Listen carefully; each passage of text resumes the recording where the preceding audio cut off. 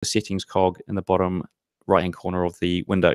Okay, so understanding the tool. So we're building a tool here today, which when you enter a buy trade, when the price crosses a trend line from below. So we're going to enter a buy trade when the price crosses a trend line from below. So you're going to, this tool is going to be useful if you put trend lines on a chart. So if you're trading with a trend line and you don't want to sit there and wait for the trend, so the price to cross the trend line and then enter the trade and set your trade up and put a stop loss and put a price, take profit, then this is the perfect tool. So it's also going to help. We're going to do it for sell trades as well.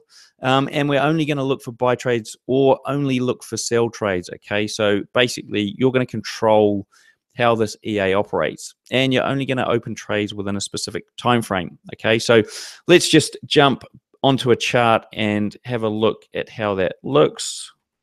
So basically, if we draw a, a little trend line here, and actually, I do remember, ah, it's a different chart.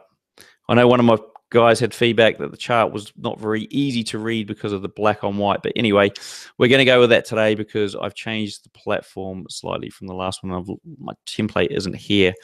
Um, so what we're going to say here is like, say, for example, okay, let's take the end of this. Uh, here. All right. So the price is about to break this trend line. It's not the best trend line ever, but let's just say it's about to break this trend line here. And what we want to be able to make sure is that we want to give ourselves enough control so that we can uh, we don't have things happening without our control basically so for example we only really want to focus on this area here. So as soon as, for example, one, two, three, whatever hours pass or minutes or whatever it is, maybe then if the price doesn't break the trend line at that point, we don't actually want it to take the trade because the setup's disappeared. So we might actually restrict it from um, from a time perspective. So we'll do that as well. Um, if it does cross the trend line, we're going to say that if the trend line's here and it crosses Actually, maybe let's zoom in a bit. The trend line's here and it crosses at this, this point here. We're going to look for the low here, sorry, the open here of this bar. As soon as that crosses, we're going to be able to say either the open of that bar um, was below the trend line in this case, and then the uh, the high of the bar was was above the trend line. And because of that, we're going to enter a buy trade. Okay.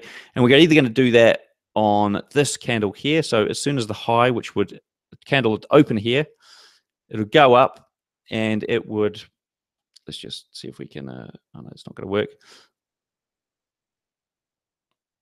It's not going to work. Um, sorry. Uh, I was going to try and draw something on the chart here, but my little tool's not working at the moment. Um, so the candle goes up, breaks the trend line. We're going to enter the trade exactly at this point that it breaks. We're also going to make it configurable, configurable enough to say we want this candle here to be the sort of trigger candle. Um, so it's if this the open of this candle is below, um, and then the uh, close of that candle is above. Actually, no, sorry, forget that. Forget that bit that we're not going to do that. We'll, you'll see what I'm going to do in a minute. Okay. Um, so hopefully that sort of gives you an idea. Basically, if the price is going to cross over the trend line here, we're going to enter a buy. If the price is going to come from below, so if we zoom out a bit here and move this around, so if we've got a different trend line and we're waiting for the price to break a trend line here, and the price let's go over here a bit. So the price breaks the trend line here. We're going to enter that trade here. And as soon as it enters, it will have pre-configured stop loss, pre-configured take profit targets that we have set. So we don't need to go in and then modify the trade once, you know, or A, take the trade, B, modify the trade um, and put on put in those take profit and stop losses. Okay, it's what's going to happen as soon as it crosses that trend line. Okay, so let's dive back now that we sort of understand how this is going to work. Ah, can't see the chart. I've just realized that, and I've just looked at the comments. Okay. You live and you learn, eh? You live and you learn. You can't see the chart because I'm only showing the screen. I'm only showing, and this is where it's going to get blurry. This is why when you do them often, they tend to uh, they tend to run a bit more smoother. Okay, you should be able to see the chart now. Please let me know if you can't see the chart.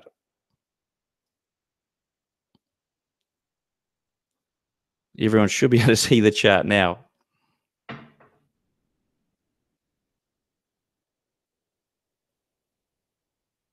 Okay, I'm not seeing anyone um, saying they can't see it, but I'm pretty sure you can see it.